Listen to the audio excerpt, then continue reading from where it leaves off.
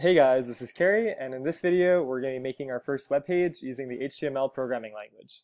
If you've programmed with HTML before, uh, you probably know everything in this video, and you're also going to see some things that um, might not be best practices, but in terms of your first exposure to HTML, I think are good choices for us to make.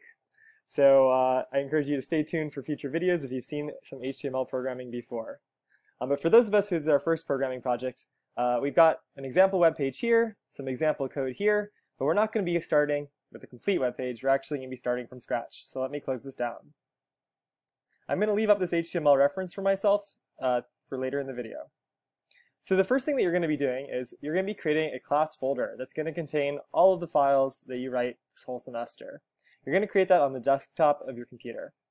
So right now we're creating some space in the hard drive in a folder named, uh, let's see, not untitled folder, but control click, rename, uh, Cary, and let's put our block number afterwards. So for me, I'll just be in block three. Why not? Now we're going to go into that folder and uh, we're going to create another folder for unit one. Now after unit one, we're going to create another folder and I'm just going to call this one about me.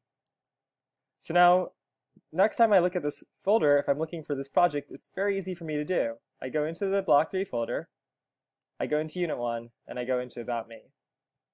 Alright, so next up, we actually need to create our web page file. So you can write code in a number of different programs. Basically, all code is, is plain text that's interpreted by a different program. So the programs that we write code in are called text editors because all they do is write text. The one that we're going to be using in the class is called Sublime Text. So I'm going to click on Sublime Text here to bring it up, and a blank window pops up for me. If you don't get a blank window and somebody else's code appears on your screen, uh, feel free to call me over because I want to make sure that we don't accidentally delete their code. But in general, what you'll do is you'll do File, New File, uh, and then you can close down whatever code you see uh, that was old. That didn't happen to me though. Uh, I'm going to zoom in a little bit using Command plus, and now, before we start editing our file, we need to tell it what programming language we're programming in. Uh, if you look by clicking on this plain text, there's a huge number of choices that we can write code in. The way I like to tell Sublime Text what type of program I'm writing in, or programming language I'm writing in, is I like to save the file immediately before you start to code, and you need to do this. So let's save it. I'm going to navigate through that, so I'm going to go back to my desktop, into the Cary folder, into the Unit 1 folder, into the About Me folder, and I think a nice name for this file is about me. But don't just save it right away. Uh, many programs know the format that they need to save them in. When we're writing a program, it actually depends what the file extension is. So in this case, because it's HTML, we write .html. If you forgot to do this, you're going to need to uh, resave the file. I'll show you how in a second, but about me.html. If you forget to do .html, you're going to need to uh, file save as and then resave it with the .html encoding. Okay, so now if we want to see our HTML file, you can see that it's already ready to load in Google Chrome, and that's because Google Chrome is the default program on my computer for opening HTML files. If you have a different web browser there, you should really do this. Control click, open with, and Google Chrome. So now uh, our web page pops up right here. So uh, in order to start editing things on the web page, we're going to be using the, the fundamental idea with HTML syntax, which is we're trying to provide all of the content on our page and also mark what type of structure we're using. So the first thing I want to do is I want to have a big header on my page that says uh, about me. So actually let me open up that old about me uh, old about me file. So let's see, where was that? That was in my Dropbox, this one, uh, this example projects, this one. Uh, okay, so this was this one. Uh, let me reopen my new one. So the first thing we want to have is we want to have, oops, let me reopen our new one. Our new one's on our desktop, Cary folder, unit one, about me, about me. Okay, so uh, we've got our brand new file, but just using this one as a template, we want to have a big about me uh, header right there. And the way we do that in HTML is we do a left angle bracket, and then we write H1 for header one, the largest header on our page, right angle bracket. Uh, now Sublime Text is smart enough that it will actually, uh, well, actually let me just do it like this. So I want to write about me, and then I need some way to signal to it that I'm done with the header. And the way you signal to it is you do left angle bracket slash, and Sublime Text is smart enough to automatically uh, finish off the tag for us. So a couple of vocabulary words. This is called an opening tag because it opens the header. This is called a closing tag because it closes the header. Um, this is these together are called um, oops sorry together these are called tags because uh, they're opening and closing tags and the stuff in between is called the uh, text or inner HTML. All right, so now we've got this. Uh, if we want to see our new file, we just press the refresh button and it will reload it. Uh, and now we can see that it's constructed from this recipe, a big header there. Now the next thing is it looks like we've got another header, but it's a little bit smaller. So to get that header, we're going to use a header 2. So left angle bracket, header 2, right angle bracket. Now my preference is actually to uh, immediately close the tab and then to fill in the space in between as though they were parentheses with the content, the text, the inner HTML that I want inside of the header 2. So all about Cary. And now we've got a smaller header. Uh, next up, we're going to have our first section. And for me, that first section, I'm going to put another enter here.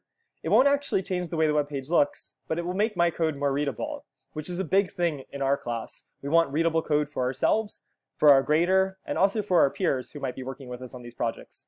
In the professional world, very rarely will you be the only one working on a web page, and so you need to have code that's readable by other people. Now I'm going to create another smaller header, and I think you get the pattern now. H3 would be a smaller regular header. Uh, and so maybe this one will be my biography. And there's nothing that says I can only have one H1. If I wanted to copy this and put this down here, I'll still have a big about me appear on the screen because that was our uh, H1, header 1 uh, section, or element, sorry. All right, but I don't want that. I just want to start off with a biography. Now I'm actually done with the headers. Uh, the next part I want to include is a paragraph of text. And so I'm going to do left angle bracket P, and there's only one kind of paragraph, so we don't put any numbers after it, right angle bracket. Uh, for me, I like to put the starting, sorry, the opening and closing tags immediately, and then fill in the inner HTML or text uh, now that I've got my parentheses set up. So uh, let's see what I wrote here. Uh, I live in Brooklyn, New York, I teach mathematics, uh, blah, blah, blah. So what I'm actually going to do is you don't want to see me type that, so I'm just going to copy and paste this. And I'm going to make sure that it lands inside of the inner HTML, so I'm going to paste it right there. Now when I go back to this About Me page and I save this, if you want, what I've been doing is Command S to save, I should have said that. But uh, every time I want to see the new version of the page, I have to save it and then refresh this and I was using Command R to refresh it. I, I know you can't see my keyboard, but uh, I like to do keyboard tricks because they're faster. Next up, it looks like we need another paragraph for when I'm not at work. So I'm going to press enter here. Uh, I'm going to press enter here again. I like to leave that space. Another paragraph. Oops, I used a trick there that you don't know yet. So left angle bracket, P, right angle bracket, left angle bracket, slash, and it closes it automatically. And now I'm going to take this paragraph and I'm going to put this here. Now, the final thing is I have one more section. So uh, pause the video for a second, or actually don't pause it yet, but I'm going to ask a question, see if you can answer it. If you need to, pause the video. What type of tag do you think I need to use for this favorite memory? Does it match any of the other tags that we had before? If you answered H3, you're correct. We need to have an H3 tag there. So uh, I'm going to do left angle bracket, H3, right angle bracket, left angle bracket slash. And I'm going to fill this in with favorite memory. Another little quiz for yourself. Uh, what type of element are we going to have here? What type of tag do we need to use? If you answered a p tag, you're right because it's a paragraph. Notice that there's only one kind of p tag. Last year a lot of people would try p1 or p5 or something, but uh, there's only one p tag. So it's just p and then closing p tag. And uh, I'll copy and paste this to save you from having to watch me uh, erroneously type that. So I'll save this. I'll go back to my new About Me page, and I'll click the refresh button. And now uh, the whole brand new web page appears on the screen. All right, so uh, I kind of cheated a little bit. Uh, in the example web page, I created some cool style, um, but we're going to be learning style in Unit 2 when we study CSS. So for now, this is the extent that our About Me page is going to look, uh, look like.